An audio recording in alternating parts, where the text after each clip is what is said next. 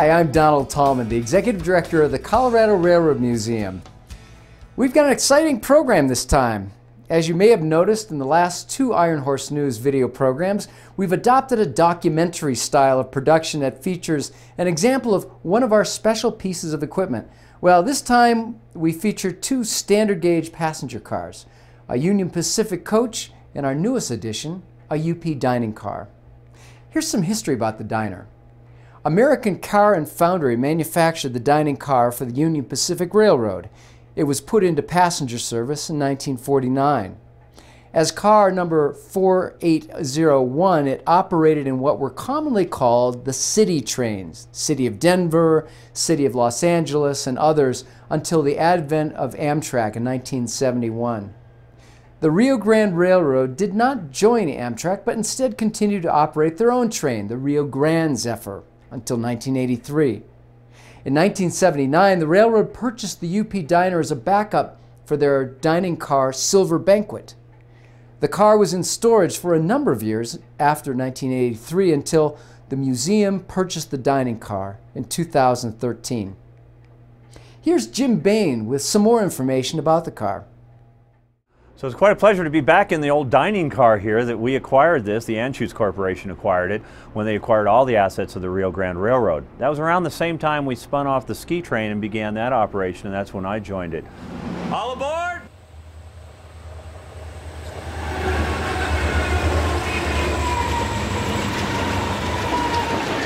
Unfortunately, we didn't have anything to do with the car, uh, so it sat on a siding for uh, the whole time I was there, about 20 years. It just sat there didn't didn't suffer too badly. There's a little vandalism on the outside, a little bit of graffiti that we'd clean up, and maybe a window was broken. But it was always fun to come inside of the car because it was pretty in, in very intact.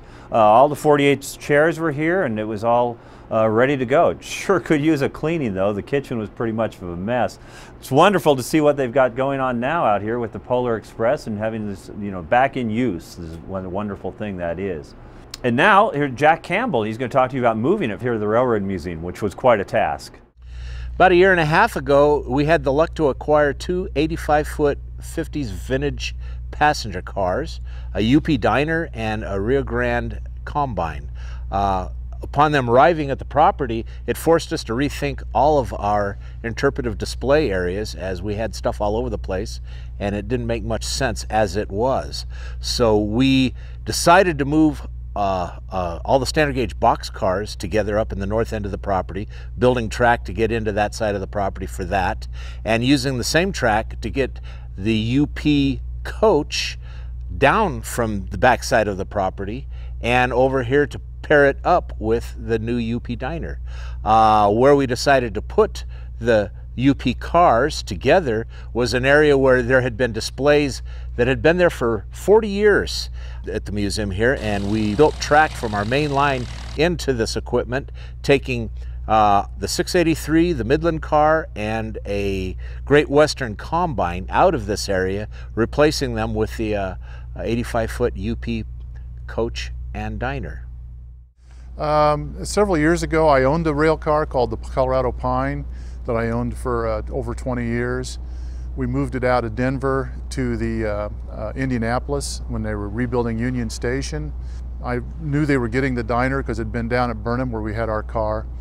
So I uh, uh, came out to check it out, got involved. Well, having rebuilt my own car, I'd worked also done some work for the ski train and some other private cars. So I had the uh, experience of taking a car essentially from uh, the graveyard to Amtrak service. Uh, everything you need to do to restore a car. So I did a lot of that work. Uh, the biggest challenge on this was conversion of the air conditioning, uh, primarily because we had to rip everything out. All the, the uh, cars originally were DC, 32 volts DC. So we had to rip out all of the 32 volt wires and wiring system, convert everything. Uh, we put in every, uh, now is a 223 phase system, 243 phase, uh, to run all the air conditioner and heat. And that was the biggest challenge so far. Since we're not taking it to Amtrak, you don't have to worry about going on the road with it, but uh, people do like to have their cooling and heating. Cars like this are, um, are unique to that, the 50s time period. This car was built in 1949 and is a representative dining car of that era. It's a 48 seat diner Uh, so the, the, museum plans to restore it and use it for venues. In fact, right now they're using it for Polar Express. Um, so we want to use these cars to give that experience of what it was like to ride and train in the 50s. So I enjoy working with my hands. This gives me that opportunity to work with my hands and also to, to get something to a state of completion.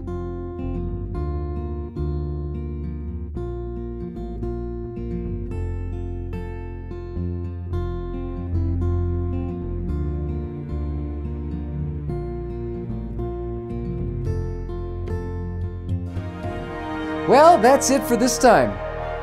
I hope you enjoyed the program. As always, we'd appreciate your feedback. Also, let us know what you'd like to see featured in future programs. Oh, by the way, don't forget our gift shop for your holiday shopping.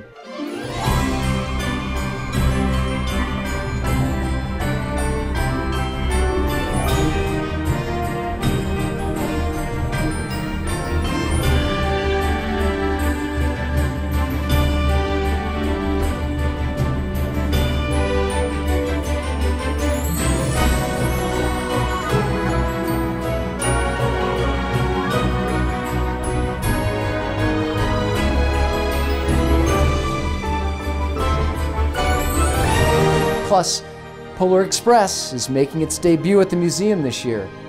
Check out our website for details.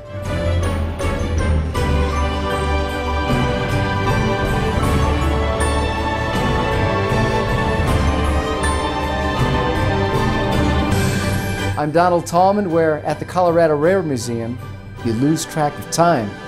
See you next time.